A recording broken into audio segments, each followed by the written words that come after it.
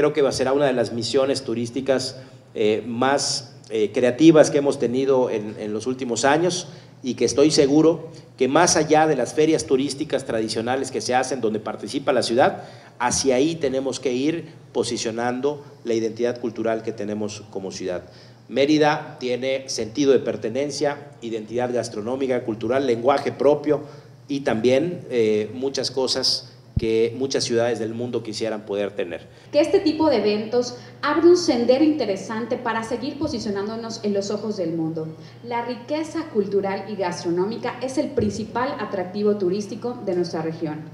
Vamos a ir a hacer una muestra gastronómica de primer nivel, llevándonos a chefs de primer nivel,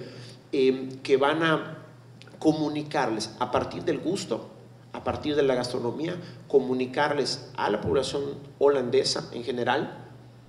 el enorme avance que hemos tenido a partir de un producto que ellos tuvieron el ingenio de, conservar y procurar de esa forma hace cientos de años. Como meridanos, como cocineros que somos, es un honor ir a Holanda y mostrarles lo que ellos hacen con su hermoso queso y nosotros lo transformamos en sabores, en colores pero sobre todo en esos recuerdos de cada yucateco, de cada meridano.